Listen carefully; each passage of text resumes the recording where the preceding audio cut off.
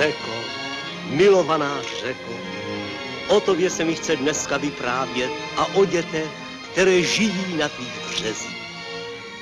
Byla s jim kmotrou, hovoříš do jejich snů i her a jejich život je v tobě otištěn jako v zrcadle. Pokojná, sluná a vroucí, navždycky budeš protékat čeřenem vzpomínek a zahovoříš zapomenutými hlasy, které odnesl čas.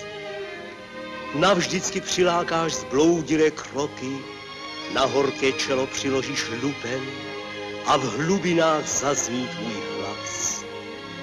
To je tvůj dar, který si utkala ze svého lesku a šumění pro celý život, řeko mého mládí.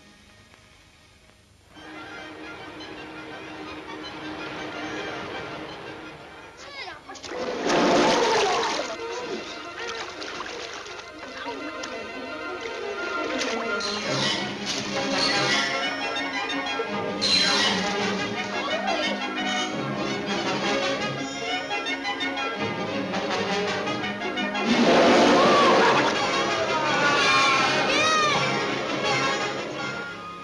je mi smutno, kamaráde. Co pak? Víš, já jsem si tak trochu zahrál se vším kolem sebe. S lidmi, se životem, i sám se sebou. Šel jsem a zpíval a zapomněl na všechno, co bylo. A myslel, že je tak dobře. Ublížili ti? Ne. Ublížil jsem sám sobě. A proto se vracím.